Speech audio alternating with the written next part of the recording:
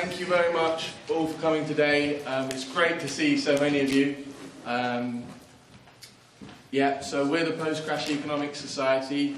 Uh, we've managed to bring you four amazing speakers. Um, before we start, I'm just going to explain to you a bit about why we set up our society and the campaign that we're running. Um, and then I'm going to hand you over to Zach, who's going to introduce the speakers and uh, hand over to them. So basically, we wanted to set up their society because uh, we felt in our kind of first and second year modules that there was a bit of a, a gap between what we were learning and what we thought we might learn in economics when we kind of signed up for it. And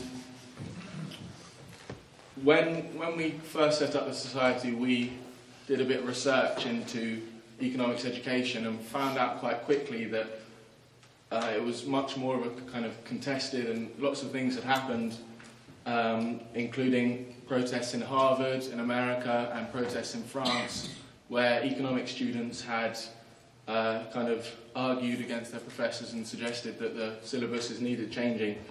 Um, we looked a bit further and we found out that there were really kind of world famous reputable economists who were putting forward arguments against mainstream economics, um, challenging the validity of its assumptions, methodology, methodology and uh, models. Um, and then we also saw the Bank of England conference, Are Economics Graduates Fit for Purpose, which is obviously what we named our event afterwards.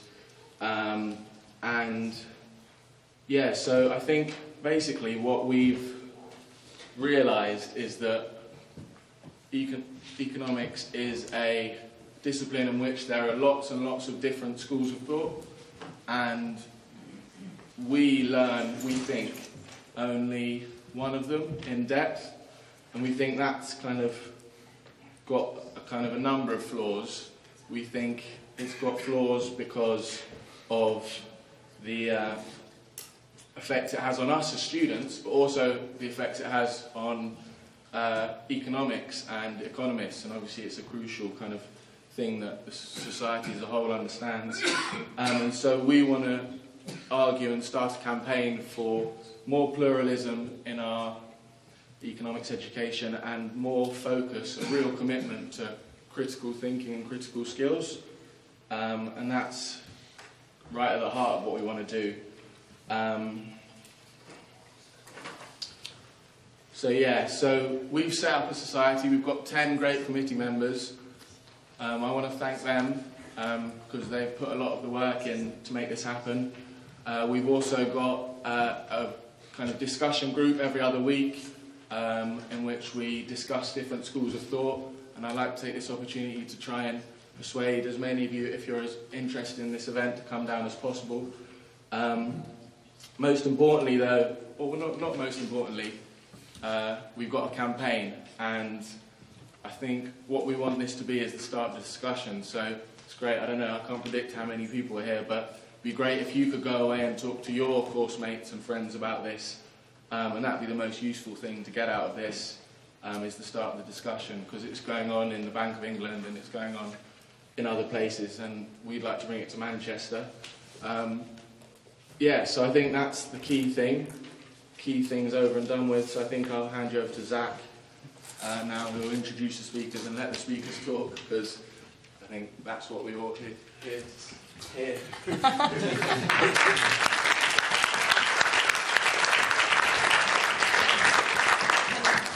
Thank you all very much for coming. Is my mic working? Yes. Okay, I'm glad you can hear me. Okay, yeah, so thank you for coming. This event is called Are Economics Graduates Fit for Purpose? It was named after a Bank of England conference held in early Feb- in February 2012. The bank got speakers from all around the world to come and speak about education economists. These like world experts. We think this event is therefore particularly interesting because it shows that these questions are being asked within the mainstream instead of just by a radical few, with Bank of England being like a key economic institution. As a speaker in the opening session of the conference noted, the crisis was a large intellectual failure. We all got it largely wrong and have been using the wrong intellectual apparatus. There seems to be a general agreement that there needs to be more focus on heterodox education within um, degrees, although the extent to this varies. Employers taking part in the conference agreed, however, that economist graduates have a narrow range of skills and they could, this could be improved. They stressed very good technical, technical ability, but they said that um, economists often lacked the ability to apply theories properly due to lectures being very abstract and so it being difficult to see what reality was really like. Also, at the conference, a lot stressed the need for more economic history so that economists could learn their theories within the context they were made. I'm very happy to say today we've got four excellent speakers, and I'm now going to introduce in the order that they will be speaking. Sitting to my right is Victoria Chick, who is an emeritus professor at the University of London, and before that, um, and before that, I worked there for 40 years. She's published widely in areas such as international economics, monetary theory, and macroeconomics, but she is particularly well known for her work on John Maynard Keynes. Um, she has served on the council and executive committee of the Royal Economic Society, the governing bodies of UCL, and of the University of London. Um, and I'll let her talk more about what she's doing now, but I believe she is now working on the problems of a zero growth economy. Um, sitting, se- second to speak, sitting to my far right, is Jonathan, Jonathan, Jonathan Leape. He's a senior lecturer in economics at the London School of Economics. He's particularly interested in teaching and learning in higher education and has set up the pioneering LSE 100 course which I'll let him tell you more about. Sitting, oh, and Jonathan spoke at the original conference, which I thought might be interesting to know. Speaking to, um, sitting on my left is Paul Ormerod. Paul wrote a book, I wrote a chapter in the book about the conference, and um, used to be actually a visiting lecturer here at Manchester. In 2006, he was elected a Fellow of the British Academy of Social Sciences. In 2009, he was awarded a fellowship at Durham University. And in economics, Paul uses a multidisciplinary approach, making use of biology, physics, mathematics, statistics, and psychology. Um, that sounds very confusing, so I'll let him tell you more about it. And he's the author of many books, such as Death, Death Economics, which sold a million copies worldwide. Speaking on my far left we'll be our last speaker, and we're very, very thankful for coming down, is Ken Clark, who is the head of economics at Manchester. Ken was educated in Glasgow and Manchester and has been a member of the staff since 1990. He's a research fellow at the Institute of Study of Labour and has been head of economics here since August 2010. He's published extensively in top journals on issues such as the economy of labour markets, immigration, and self employment. And on that note, I'd like to ask our first speaker, Victoria Chick, to start.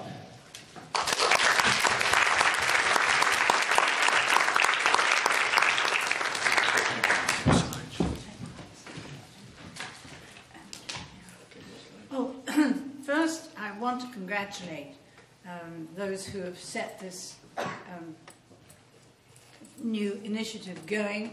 I think to call it post-crash economics is inspired. Um, and I wish it all the best in the world. Um, I'm glad so many of you have taken an interest to, to come along. Um, I'm going to just give a few little thoughts on the kinds of things that are wrong with economics. If I were to set up uh, a talk saying what's wrong with economics, we'd be here until Easter. but I've only got 15 minutes, so I have to select a few things to discuss and hope some general principles come out. Um, there have been many expressions of dissent about economics. They go back a long way. Um, Paul's book that was just referred to, The Death of Economics, was written in 1994, I think and he's just um, had another look at it in 2001. Um, but, but, that's a comparative newcomer. I mean, Joan Robinson in 1971 gave a famous lecture at the American Economic Association called The Second Crisis in Economic Theory. So there was one before that. Stick around, I might need you. Light sound, yeah. Um, so, as I say, these expressions of dissent about, about economics have been going on for quite some time. Um, but the crisis has focused everybody's minds. Um,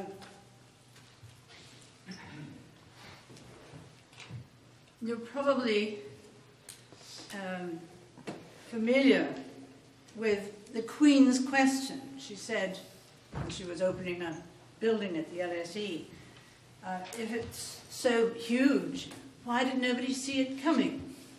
Now, this is one of the most interesting questions the Queen has ever asked.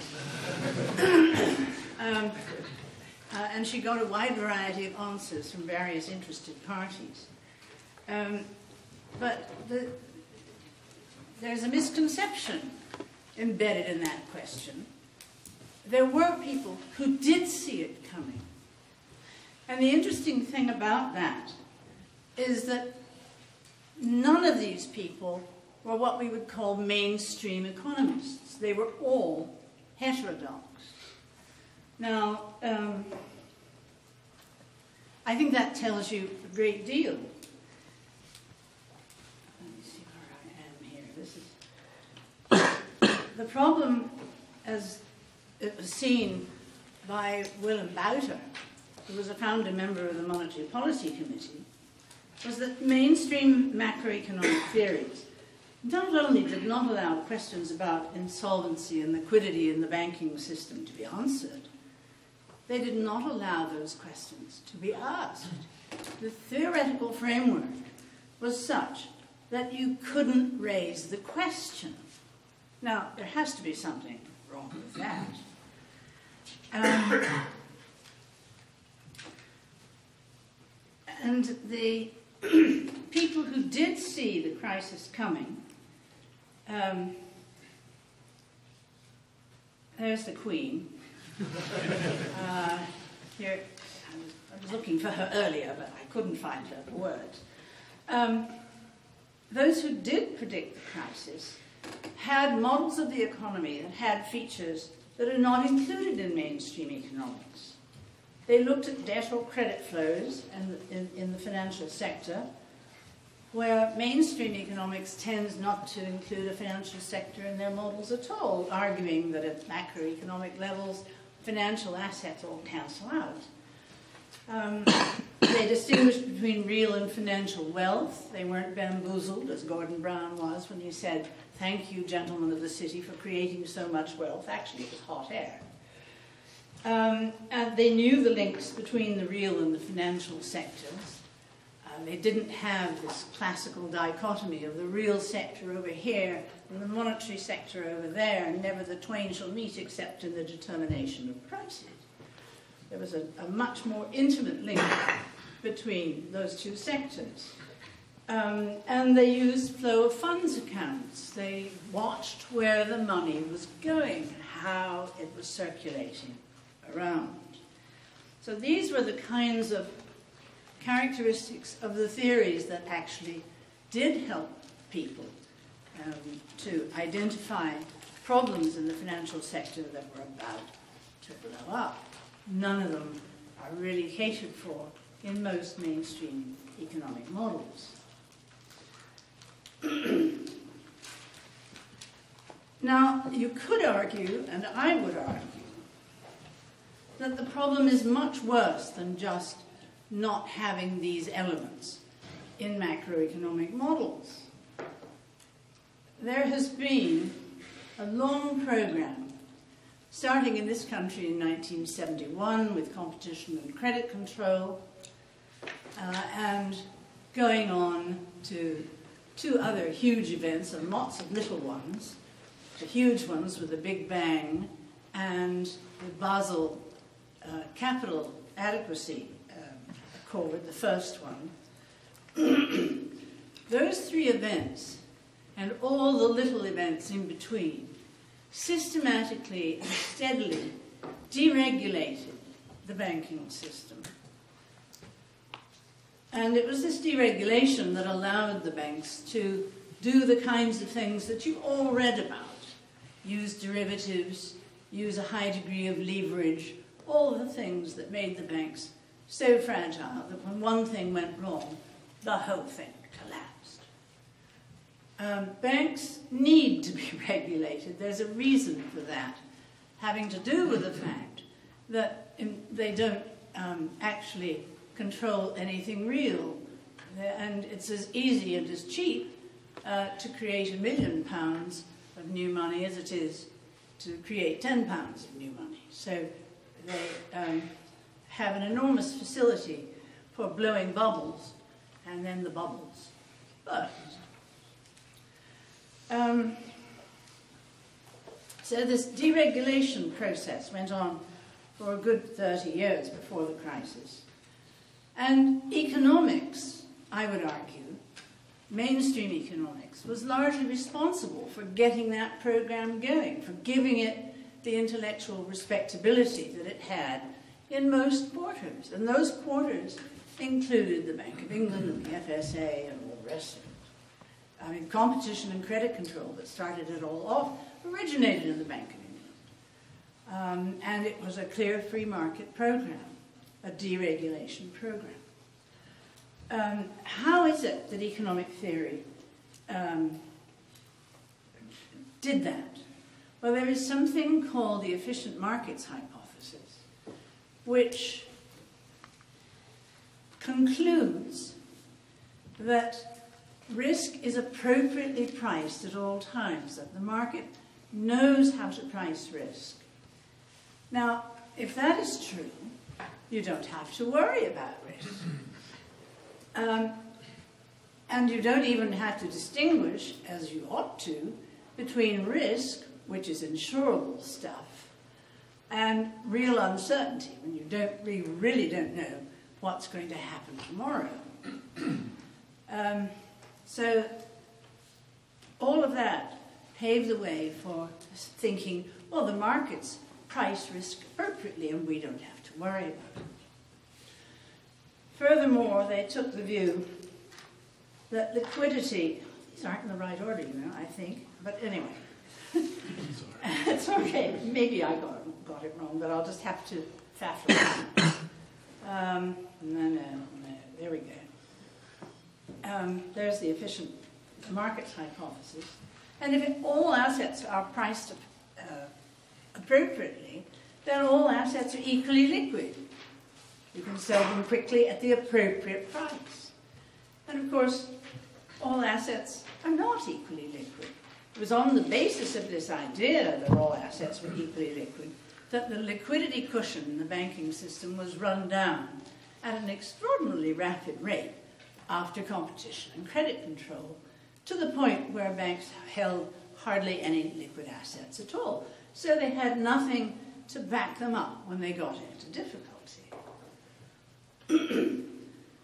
now,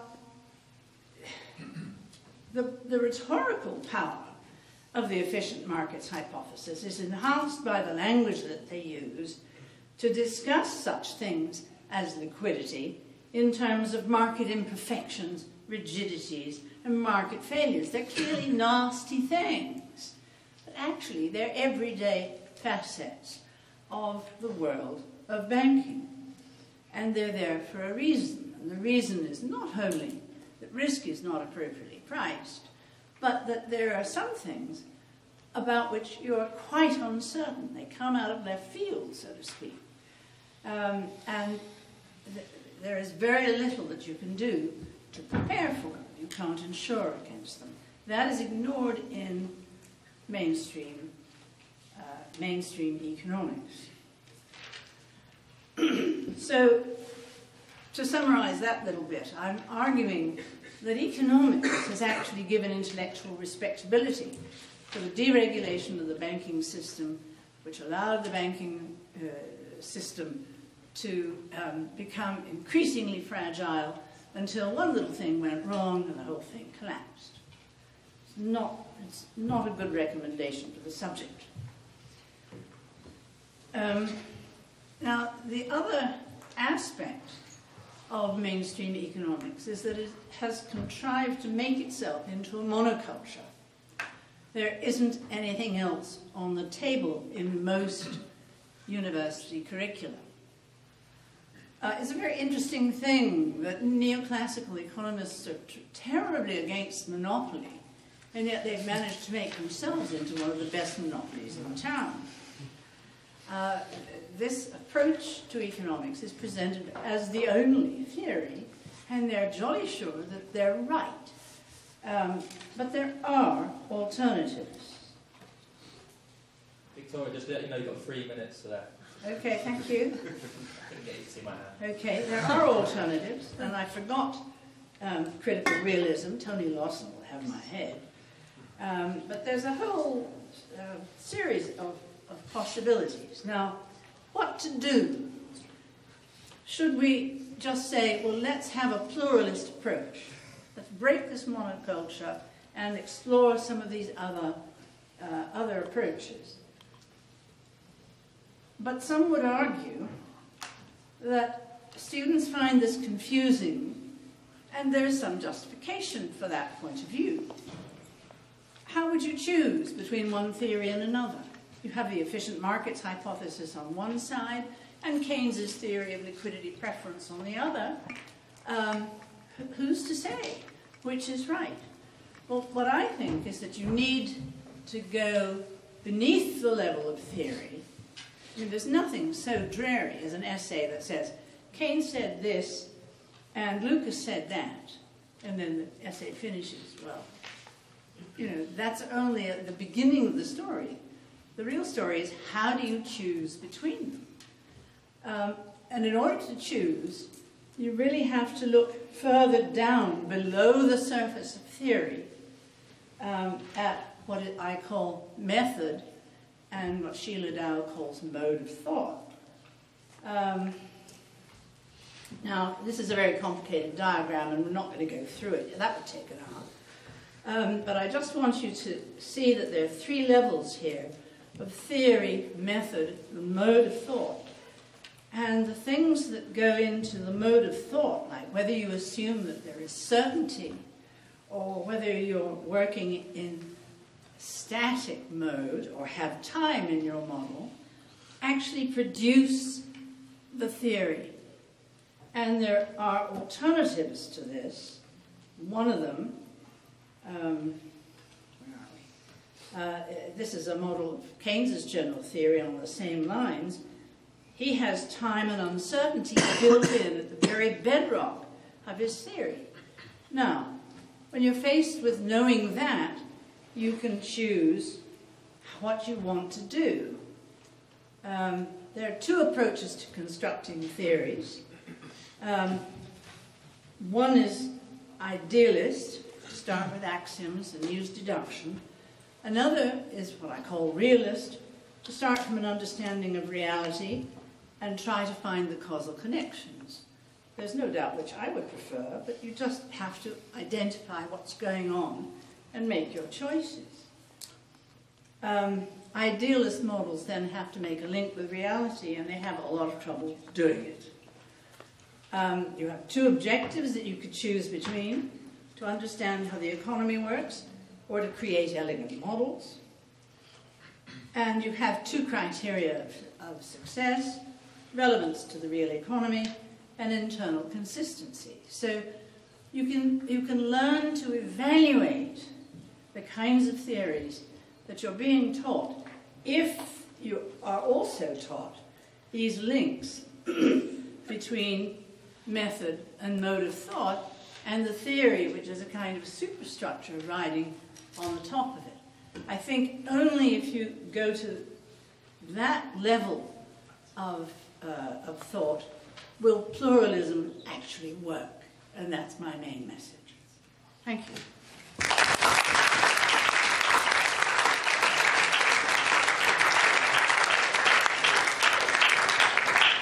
Yeah, just to say, because I think I forgot to mention it before, each speaker has 15 minutes to talk and then there'll be about an hour for questions at the end. If you see me put my hand up like this, I'm trying to tell this five minutes I'm not.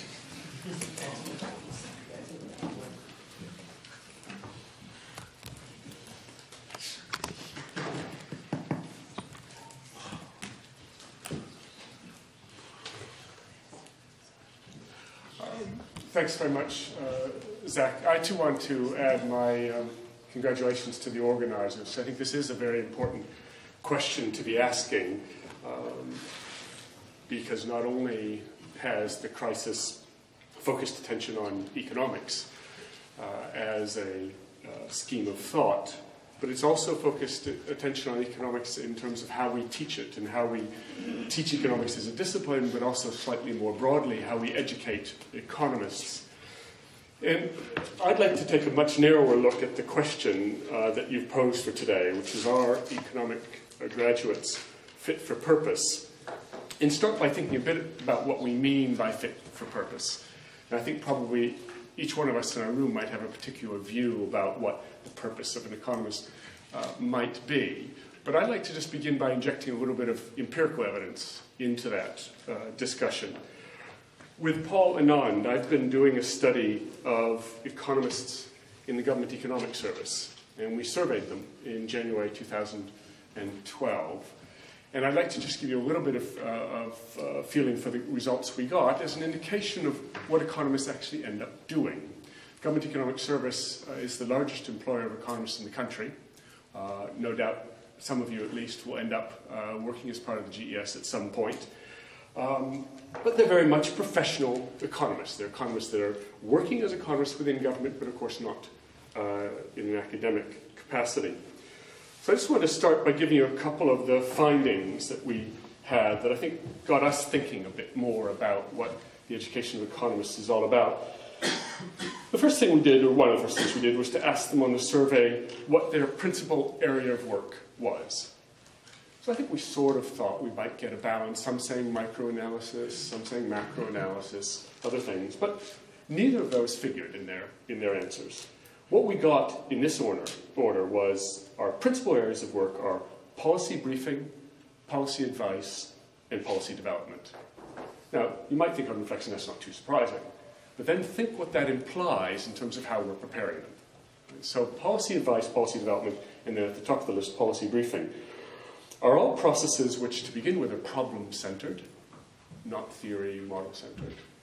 And they're processes which require an understanding at least will be crossing borders within economics, and almost in every case you can possibly imagine will be crossing borders outside of economics. That is, if you're really trying to focus on a policy, you're not likely to make much headway if you confine your attention to an economic analysis alone. We then followed that with another question, which was underlying these areas of work, what are the principal methods uh, and approaches you use? So again, we thought, well, maybe econometric analysis will will come up on top. Or maybe policy experiments. The government's doing more policy experiments than it used to. Or maybe game theory. Maybe they'll be doing some informal uh, sort of theorizing themselves. Well, no, none of those actually figured out to be very important. Overwhelmingly, the top method that they cited was synthesizing evidence. So again, that spoke to this multidimensionality, multidimensionality of the problems they face and that the challenge is not one of testing a single model and seeing to what extent that's robust or supported by a particular body of evidence, but rather, how do you grapple with a problem that has a number of different dimensions that you've been called on to, to take account of in your analysis? Well, you might think that, of course, the policy focus in particular is something distinctive about government economic uh, service, but there's been another survey done uh, just this past January of business economists as part of the same process, which grew out of the February, um, the February workshop. And they found broadly similar works, not policy advice, of course, but very much briefing and synthesizing and things as being very much true of private sector economists as well. And, and the picture that emerges then of, of economics in practice is one that's characterized by three primary characteristics. First, at the heart of it is problem solving. Second, what economists do in practice is to apply economic theories and models. And applying isn't a simple thing. Applying itself is a creative, synthetic process where they're trying to start with the models uh, that we've you know, developed and established uh, in the literature and then use those in a way that casts real light, useful light, onto problems. And then the third area, so problem solving the first, applying economic theories and models the second. The third distinguishing characteristic of economics in practice is the need to communicate economic analysis to diverse audiences. And that really crosses the full range of, of, uh, of types of economics, economics in practice. Well, all of this raises a host of questions, but I'd like to focus just on two questions and really one in the end uh, in any detail. The first is, what are the implications of this for the teaching of economics? And the second is, what are the implications of this for the education of economists? Now, you might think that's the same question, but it isn't the same question because the education of economists, certainly in my view, and I think in many people's views, should be much more than just economics. So that's what I want to say uh, in most of the rest of my remarks. But let me just say something briefly about the teaching of economics. one of the things I think that the crisis reinforced, but that other people have identified independently, is the fact that over time, the way in which we teach economics has increasingly become model centered and highly deductive. That if you think of the core courses that we teach, we tend to organize them around a, a limited set of models, um, and uh, that those models and the underlying theories really drive the structure of our approach to micro, macro, public, industrial, whatever it might be. Well, that has the great virtue of, I think, in most cases, I think it's true at the LSE, I think it's true here at Manchester, of uh, teaching students how to do model based thinking. Think that's uh, a very important first step in using economics. We can argue about the range of models in which that training should take place, but I think the ability to do model based thinking is an important component of being an effective economist. But what it leaves out, and particularly I think if you think back to how we've just been characterizing what economics is like in practice, what it leaves out is a problem centered uh, approach. That is what we don't see, and this is true at the LSE, what we don't see in our core economics courses, uh, apart from occasional third year uh, field courses, is uh, an approach that takes seriously an empirical problem and then says, how do we understand this problem? Uh, accepting from the beginning that it's not going to fit neatly within the, the scope of a single model. That we're going to be in a situation where we have to, in a very real sense, start with the evidence that characterizes the problem, that helps us to understand the different dimensions of the problem, and then begin to pull in relevant theories, relevant models, relevant approaches, and so forth. So I think if there's one way in which our approach to teaching uh, of economics has to change, it's in shifting away from our almost exclusive focus, certainly in core courses, on a model-centered approach, towards one which is more problem-centered. Now, that's not something that's beyond our, our abilities by any means, and I think there are lots of examples, for example, uh, case studies approaches, research project uh, approaches uh, that can build in a problem-centered focus in a way that would give our graduating economists a set of skills which is more fit for purpose. So I think there are things we can do, and I, I would uh, certainly endorse uh, the uh, shift to a more pluralistic approach in terms of the range of theories and models that we expose our students to. Uh, briefly, just on that, before I shift over to the education of economists, I'd add one more thing, and that is that uh, I've been part of a group that grew out of the February workshop um, that has been trying to come up with some ideas about how economics programs should change over time in response to the crisis. And it was a group that was uh, a group primarily of economists from different areas. So John Beath from the Royal Economic Society, Simon Wren Lewis from Oxford, Andy Haldane from the Bank of England, Nick Crafts from Warwick, who's an economic historian. So it's a, a fairly diverse group. Uh, and that group, which is not particularly um, uh, uh, heterodox as a group, nevertheless strongly endorsed uh, the need to have a more pluralistic approach to economic uh, degrees uh, and the need for, in general, for more incentives in the directions that, uh, that I've been talking about, about problem-centered approaches, about the need to have other disciplines coming in as well. Um, the second and final thing that I wanted to talk about was this, what I see as separate question, which is the education of economists. And there, I think the starting point is recognizing uh, that if we take uh, problem solving seriously as something we want to prepare our graduates to be able to do in some sphere, then we need to recognize that problems in the real world don't fit neatly in disciplinary boxes. They certainly don't fit neatly in the economics box, but they don't fit in any disciplinary box. So how do we respond to that?